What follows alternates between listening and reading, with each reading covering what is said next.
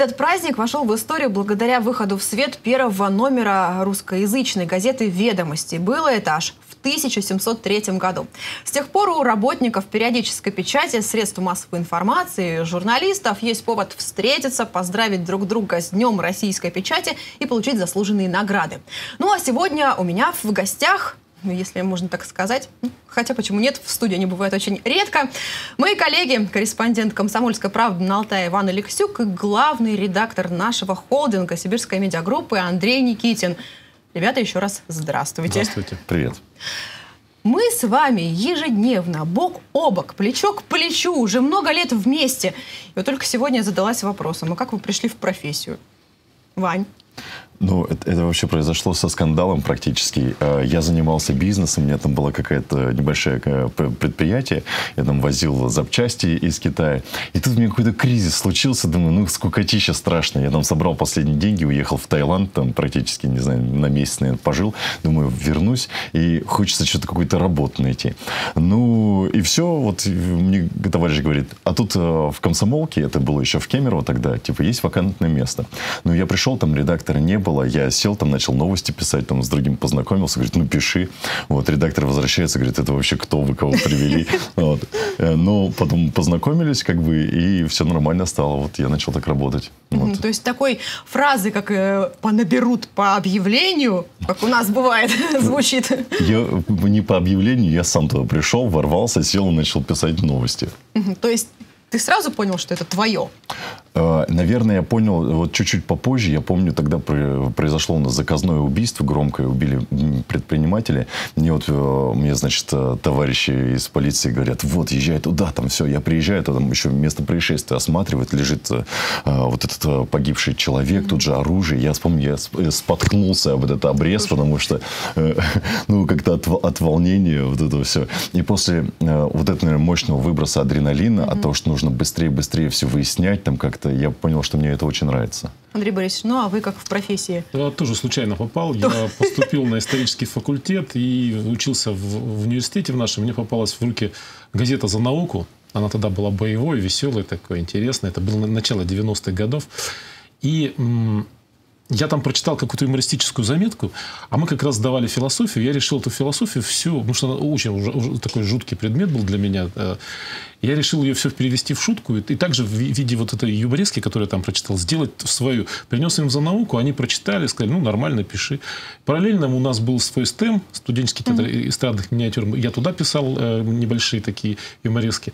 И вот я стал заносить им за науку юморески, а потом у них, когда я на третьем курсе учился, человек ушел дальше работать в большую прессу, и попросил меня вместо него поработать. И я mm-hmm. вот начал работать. За мной закрепили, там было разделено за каждым корреспондентом какой- какой-то из корпусов. За мной закрепили корпус экономистов и юристов. Я писал оттуда заметки mm-hmm. и писал материалы. Год я там проработал, меня позвали в, в большую газету, я ушел туда, mm-hmm. и вот mm-hmm. как-то вот оно все То закрутилось. Даже периода на раздумие не было, вот каких-то скитаний, как у Ивана. Нет, я прям со, студентом, вот у меня э, больше 25 лет уже трудовой стаж, э, именно журналистский. Mm-hmm.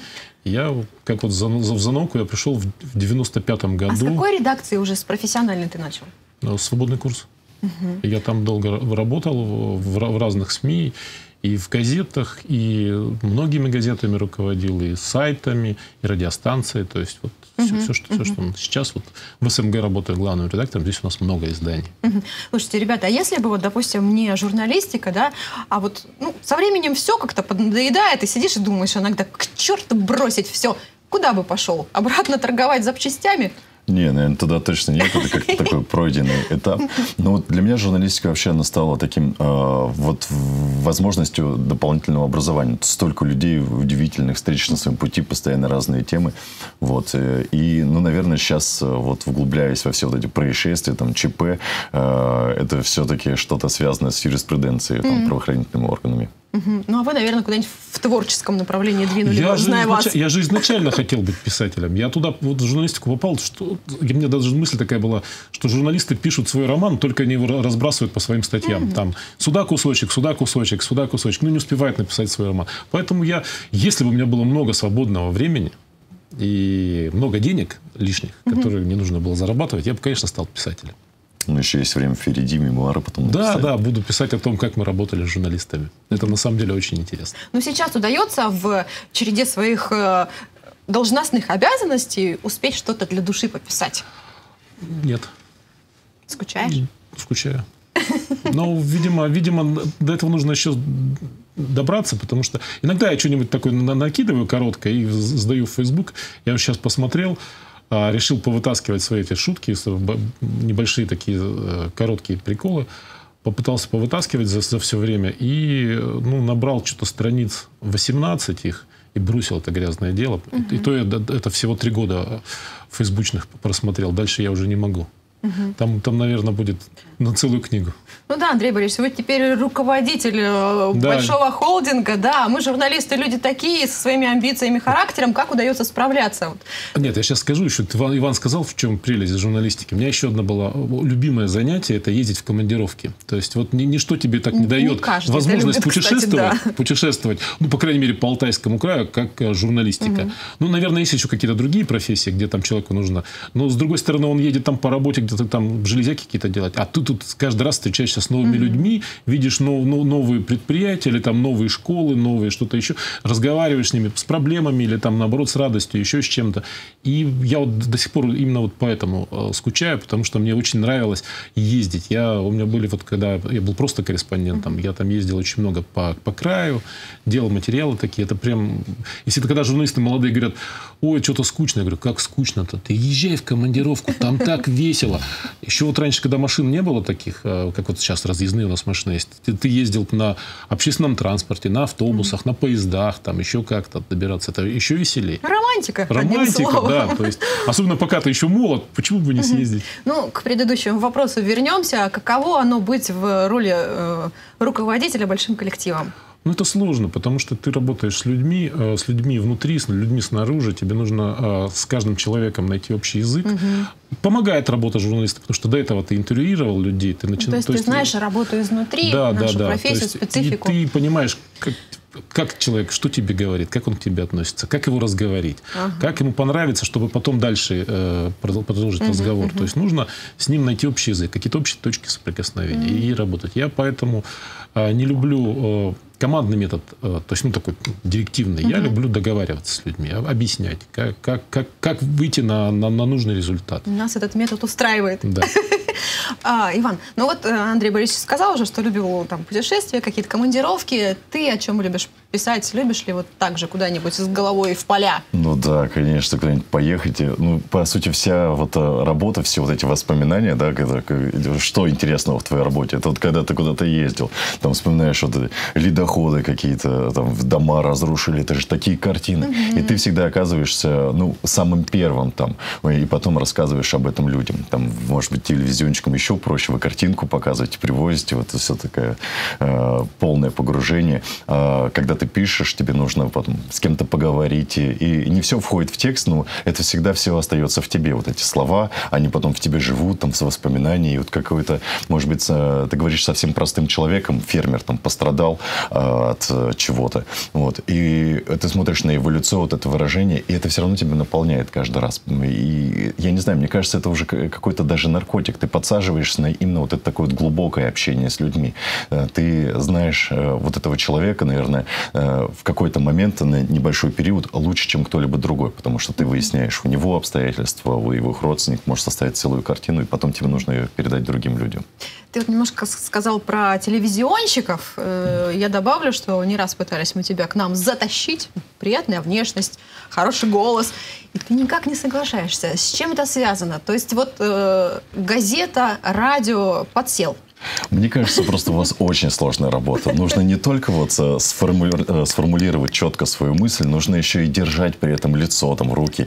Э, Вот вы, вы меня заставили за этот, за трибуну. Нужно новости читать, а руки куда деть? Вот они у тебя тут болтаются, и нужно же красиво в камере держаться. А в газете ты можешь текстом собраться, мыслью расте- растечься, там как-то вот это предложение, оно у тебя запечатлено на бумаге, и ты можешь его конструировать, реагирует нужным образом. Всегда есть вот на что опереться. Нет вот такого вот э, вспышки. Мне кажется, э, это немножко, все-таки текст немножко глубже. И ты не ограничен так во времени. и в- и Ну, в потому что нам действительно формате. помогает картинка. Нам не обязательно о ней писать, она вот на экране. Как вот вы думаете, какой период сейчас современная пресса переживает? То есть э, там лет 15 назад, когда я только тоже начинала работать, нас считали четвертой властью, и мы это ощущали.